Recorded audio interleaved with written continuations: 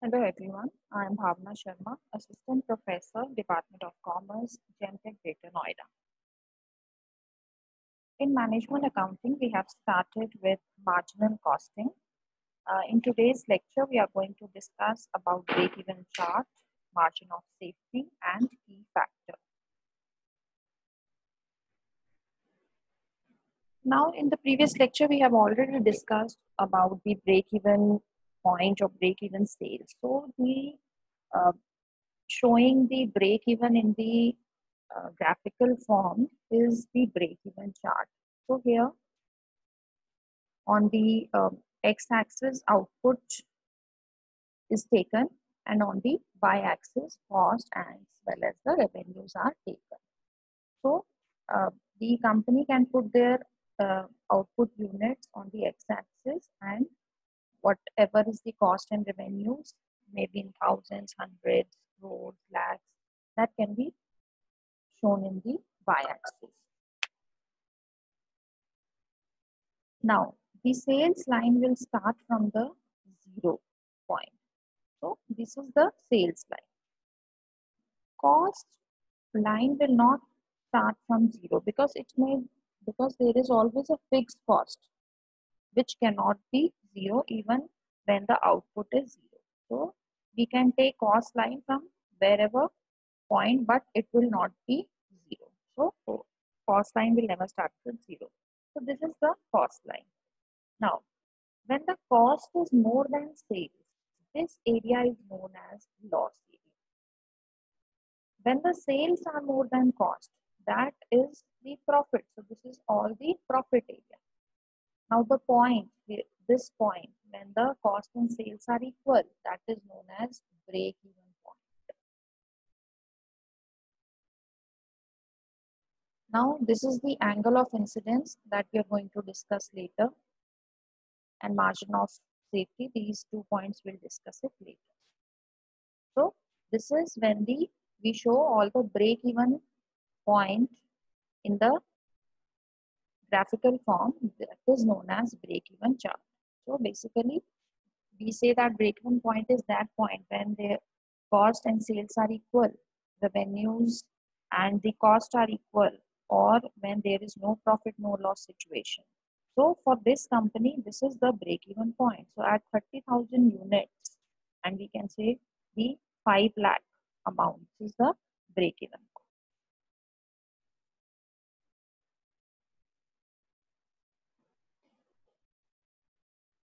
Now, when number of units are expre expressed on x-axis and cost and revenues are expressed on y-axis, now three lines are drawn. Fixed cost line, total cost line and total sales line. Now in this graph, we find that there is an intersection point of total sales line and total cost line. And from that intersection point, if a perpendicular is drawn to x-axis, we find break-even units. Similarly, from the same intersection point, a parallel line is drawn to x-axis so that it cuts y-axis, where we find break-even point in terms of value. So that is break-even sales. So this is how the formal pictorial representation of break-even chart. Now the assumptions related to this break-even chart are that all costs can be separated into fixed and variable costs. Fixed cost will remain constant and will not change with the change in level of output. Variable cost will fluctuate in the same proportion in which volume of output varies. Like price of variable cost factors, wage rate, price of material, right? They will remain unchanged. Selling price will remain constant even though there may be competition or change in volume of production. Number of units produced and sold will be the same so that there is no opening stock or closing stock. There will be no change in operating efficiency. There is only one product or in case of many products, product mix will remain unchanged. product specifications and methods of manufacturing and selling will not change. So these are the some of the assumptions of break-even chart. Now next is angle of incidence. Now angle of incidence is an angle formed at intersection point of total sales line and total cost line in a formal break-even chart.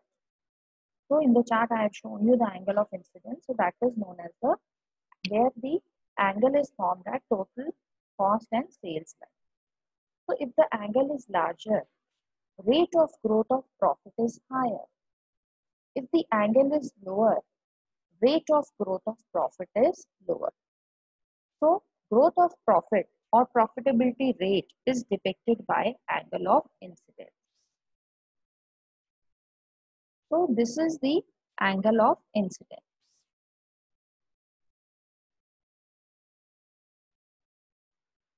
Intersection in the total cost and so higher the angle of incidence that means more is the growth.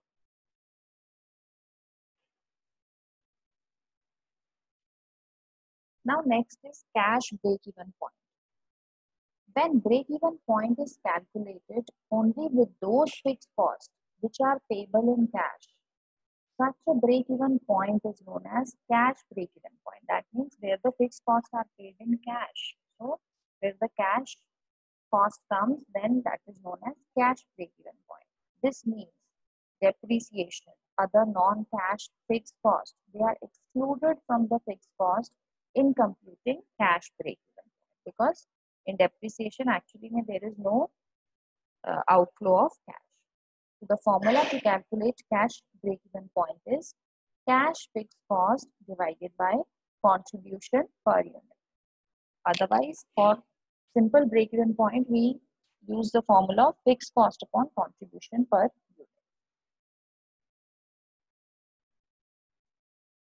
Now, next topic is desired profit.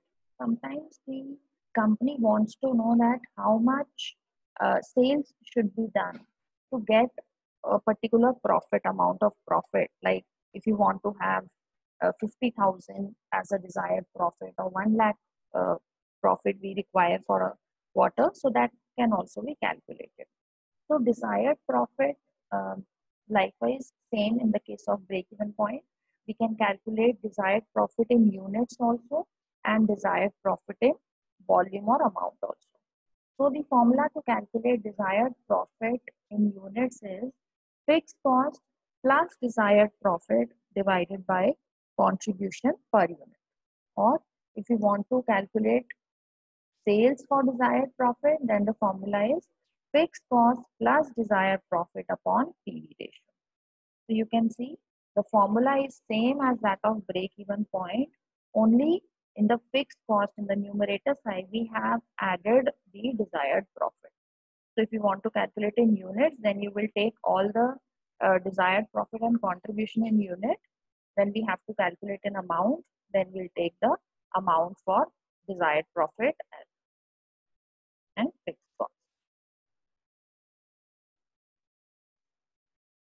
So let's discuss an example. Uh, the sales turnover and profit during two periods are given as follows. For first period, sales is 2 lakh and for second period, sales is 3 lakh. Likewise, the profit for first period is 20,000 and profit for second period is 40,000. Now, on the basis of this, the company wants to know that what amount of sales will yield a profit of 50,000. That company needs or desire a profit of 50,000 for a particular period. So they want to know that how much we can uh, do the sales to get this amount of profit. So the formula to calculate the uh, desired profit is, as we have just discussed, is the sales to earn desired profit is fixed cost plus desired profit upon PV Now, in the question, we are given only two, three things. One is the sales, one is profit for two periods and desired profit. So that means we are given the sales. In the question, it is asked that how much sales will yield. So we need to calculate the sales. We are already given desired profit. Now we have to calculate fixed cost as well as PV ratio. So first we'll calculate PV ratio. Now the formula to calculate PV ratio is contribution upon sales into 100. Now in this question, there is no total cost or fixed cost is given. So that formula cannot be. So other formula that I have discussed in previous lecture was that change in contribution upon change in sales. So again, for contribution, we cannot calculate because of the absence of variable cost. So now instead of contribution, we'll take profit. So we have taken the formula as change in profit upon change in sales. Why change? Because the sales and profit for two periods are given. That is why we are taking the change. So change in profit is like for second year, the profit is 40,000. For first year, it is 20,000. So that means the profit has increased by 20,000. Same is the case for sales. For sales, for first period it is 2 lakh. For second period it is 3 lakh rupees. That means sales have increased by 1 lakh. So there is change in profit of rupees 20,000 and change in sales of rupees 1 lakh. So just put it in the formula of PV ratio that is 20,000 divided by 1 lakh into 100. So here PV ratio for this particular company is 20%. Now second, we have calculated the PV ratio. Now second, we want to calculate the fixed cost. So based on this formula, we can calculate the fixed cost for a period. Now, sales for desired profit is equal to fixed cost plus desired profit upon PV ratio. Or if we want to calculate fixed cost, we'll take fixed cost here and this PV ratio will go on this side. So this divide will become multiply and this plus desired profit will be minus become minus on that side. So we have just taken all the values on one side in order to calculate the fixed. Again, for sales, so we have taken for first year. So for first year sales is 2 lakh multiplied by PV ratio. PV ratio we have already calculated just now. So we'll take 20% minus profit. So profit is given as 20,000. This we are calculating for first period. So here we'll get fixed cost as 20,000. Likewise, if you want to calculate for second period, the fixed cost will be same. So instead of first year sales, we'll take here as 3 lakh. 3 lakh into 20% minus profit for second year is 40,000. So 3 lakh into 20% is 60,000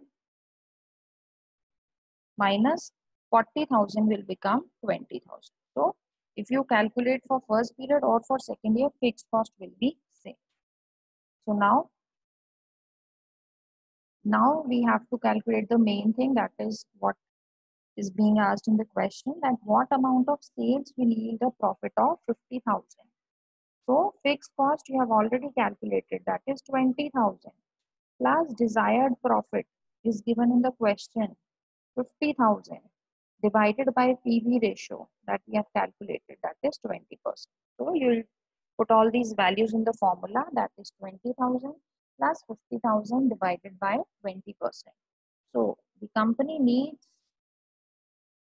to sell at least rupees 3 lakh 50,000 to earn the desired profit.